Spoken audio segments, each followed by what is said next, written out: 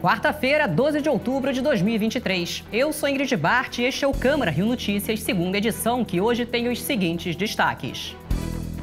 Comissão Especial do Plano Diretor faz nova audiência pública e aprofunda discussão de emendas sobre instrumentos da política urbana. Prefeitura do Rio assume a posse da área da antiga Universidade Gama Filho para a construção do Parque Piedade. E o centenário da Portela é comemorado com uma série de eventos.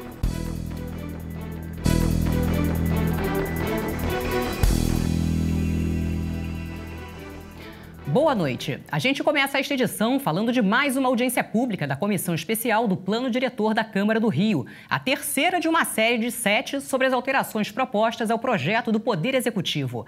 A reunião de hoje abordou os instrumentos da política urbana, mesmo tema do último encontro, e teve a participação de autoridades e representantes de movimentos populares e da sociedade civil. Faixas e cartazes pediam moradia adequada e a oferta de mais serviços públicos para a população de baixa renda. Nesta quarta-feira, a Câmara promoveu a terceira audiência pública das sete previstas para acontecer sobre as mudanças sugeridas ao projeto. Nós estamos num processo longo de, de, discussão com a população. Esse processo democrático é fundamental, porque o plano diretor é a principal lei urbanística da cidade e tem que espelhar os desejos e os conflitos entre to, de toda a população. São vários segmentos, cada um defendendo seus interesses, e é fundamental que a gente tenha uma ampla participação de todos os setores da sociedade. Nessa nova fase de discussões sobre as alterações propostas ao texto do novo plano diretor da cidade referente aos instrumentos da política urbana, a comissão especial que trata do assunto ouviu representantes de associações de bairros, de órgãos públicos e moradores de comunidades. Na parte é, patrimônio cultural, nós não temos nada que fale dos nossos museus comunitários, museu de território. Ele não é implementado né, nesse plano diretor, pelo menos eu não vi. E nem os quilombos. Eu queria lembrar que nossa cidade do Rio de Janeiro tem 44 quilombos e nenhum eu vi aqui ser implementado. Eu acho que a gente tem que repensar também o direito à cultura, né, as culturas e os saberes populares. Eu acho que é importante. Na semana passada, a comissão realizou audiência para se aprofundar nas emendas enviadas pelo Poder Executivo sobre os instrumentos presentes no projeto de lei. Das 215 emendas apresentadas, 39 tratam dessas ferramentas de política urbana como a outorga onerosa do direito de construir, o termo territorial coletivo, as áreas de especial interesse social, a operação urbana consorciada e o projeto de estruturação urbana. São detalhes que é preciso, nós acreditamos que o planejamento local, ele pode detalhar mais e ter mais precisão e mais responsabilidade na definição de parâmetros do que uma lei geral. Né? E o plano diretor é uma lei de diretrizes gerais. Né? Os, os planos locais são muito importantes para exatamente adequar essas diretrizes gerais à realidade do bairro com as suas especificidades.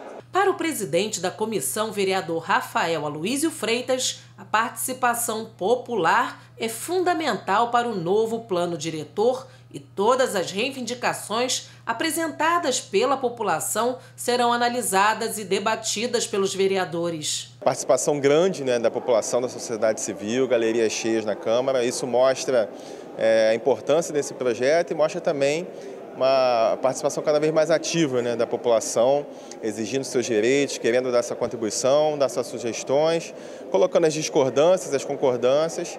Isso faz com que a gente tenha mais argumentos e mais bases para fazer um texto melhor no final.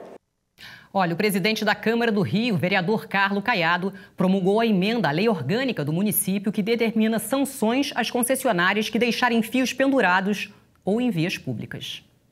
Os fios soltos junto aos postes da cidade são uma preocupação das autoridades. A Secretaria de Ordem Pública realiza constantes operações para recolher cabos da rede elétrica e de empresas de telecomunicações que ficam soltos, partidos ou caídos no chão. Agora, as concessionárias de serviços públicos que permitirem essas situações estarão sujeitas a sanções administrativas. O valor da multa é de até 100 mil reais. A intenção da lei é garantir a segurança da população e evitar a poluição da paisagem com um emaranhado de fios pendurados nos postes.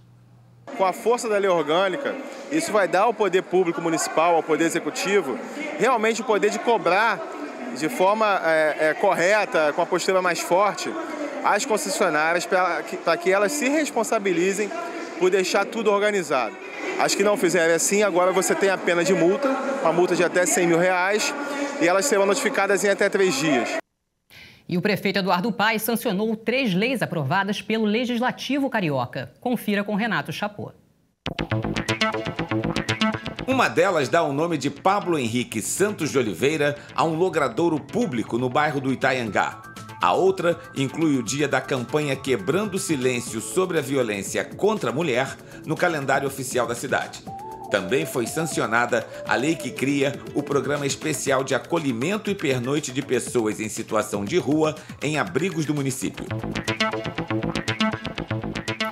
A Comissão Especial de Combate ao Racismo da Câmara Municipal entrou com uma representação junto ao Ministério Público Estadual, solicitando apuração para saber se houve crime de injúria racial no caso da ex-jogadora de vôlei, que agrediu um entregador em São Conrado no último domingo. Neste vídeo, a ex-atleta de vôlei Sandra Matias Correia agride o entregador Max Ângelo dos Santos. Depois ela pega a guia do cachorro e bate mais uma vez nele, que tenta se defender.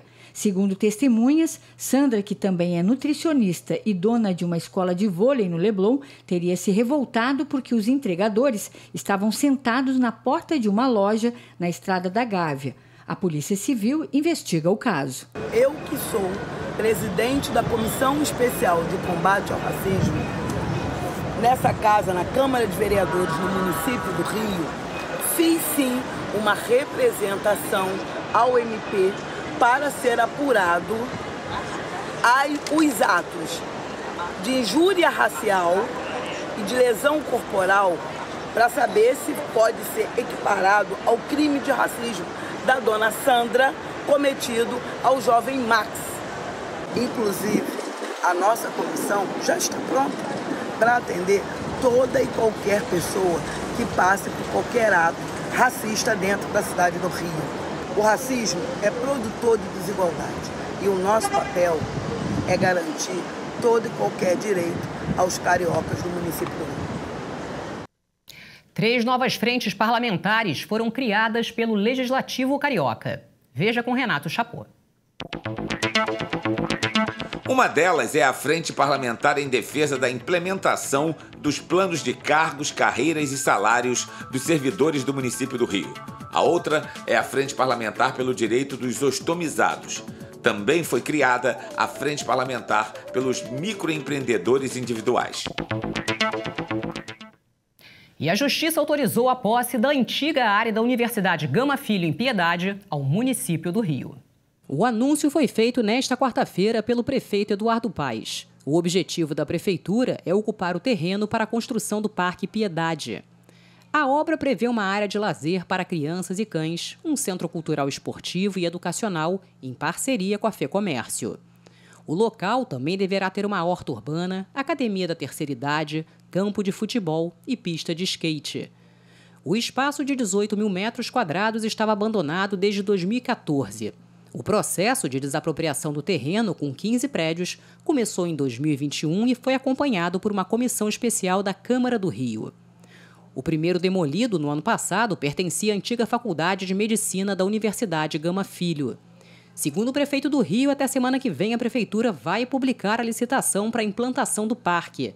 As obras devem ser iniciadas no segundo semestre desse ano. E você vai ver depois do intervalo. Portela promove uma série de eventos para comemorar 100 anos de história.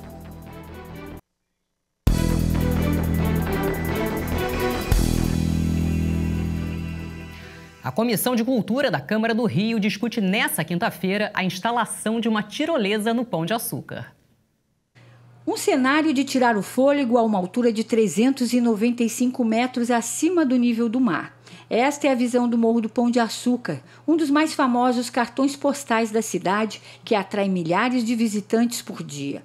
Para aumentar ainda mais o movimento de turistas no local, a Prefeitura do Rio planeja uma atração para o segundo semestre deste ano. A ideia é instalar uma tirolesa de 700 metros de extensão, ligando o Morro da Urca até o Pão de Açúcar, a 200 metros de altura. Só que o projeto provoca polêmica. Moradores e ambientalistas são contrários à instalação da tirolesa. O assunto vai ser discutido em uma audiência pública na Câmara do Rio, com o tema Pão de Açúcar Patrimônio Cultural da Paisagem Carioca. A iniciativa é da Comissão Permanente de Cultura, que tem como integrantes os vereadores Edson Santos, presidente do grupo, Mônica Benício e Marcelo Diniz. Para os parlamentares, o debate é necessário, já que é preciso preservar patrimônios como o Morro do Pão de Açúcar, tombado pelo Instituto do Patrimônio Histórico e Artístico Nacional e reconhecido como Patrimônio Mundial pela Unesco. O Rio de Janeiro completou em 2023 458 anos. Uma história que é contada em livros, documentários, mas que ainda permanece viva nos museus da cidade.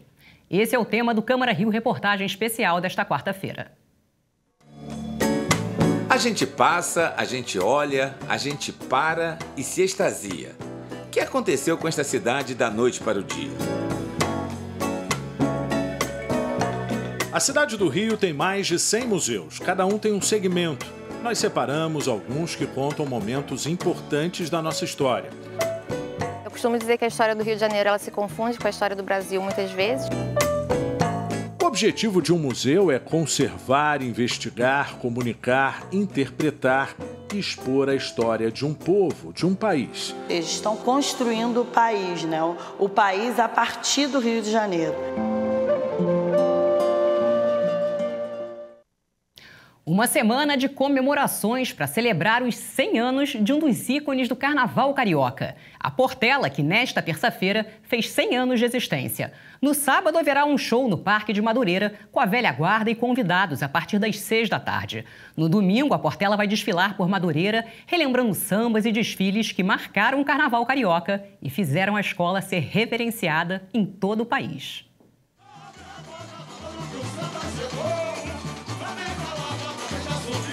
Ela é a maior vencedora do Carnaval Carioca. São 22 títulos, incluindo um heptacampeonato entre 1941 e 1947. A história deste ícone do Carnaval começa no bairro de Oswaldo Cruz, com a fundação do bloco Conjunto Oswaldo Cruz, em 11 de abril de 1923. Mudou de nome duas vezes e passou a se chamar Quem Nos Faz é o Capricho e depois Vai Como Pode.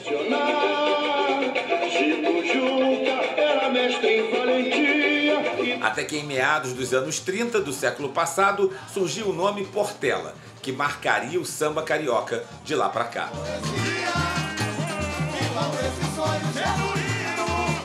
Os dois principais símbolos da escola surgiram no começo dos anos 30. A bandeira, nas cores azul e branco, e a águia, que passou a ser presença obrigatória no abre-alas da Portela a partir de 1970.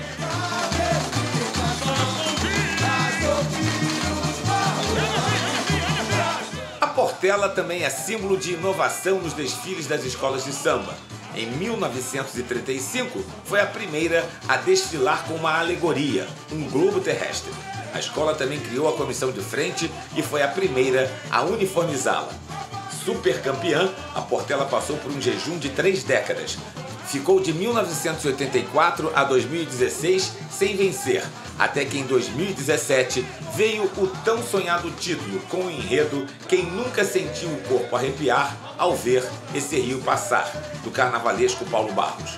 Reconhecendo o talento de seus integrantes, músicos e compositores, a Câmara Municipal do Rio aprovou em março deste ano o projeto que declara a velha guarda da Portela patrimônio imaterial do Rio de Janeiro. A Velha Guarda é um grupo de samba idealizado em 1970 por Paulinho da Viola. Sambista apaixonado pela escola, autor do samba Foi um Rio que Passou em Minha Vida, que se tornou uma espécie de hino da Portela, onde ele se declara: Não posso descrever aquele azul. Não era do céu, não era do mar. Foi um rio que passou em minha vida e o meu coração se deixou levar.